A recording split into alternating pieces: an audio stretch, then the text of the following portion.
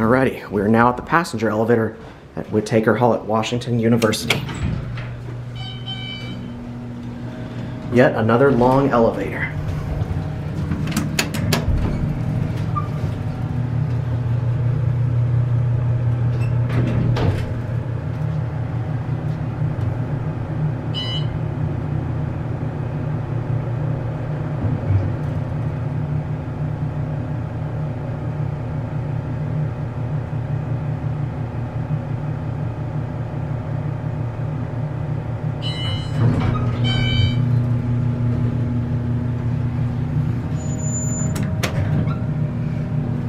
Instant door close.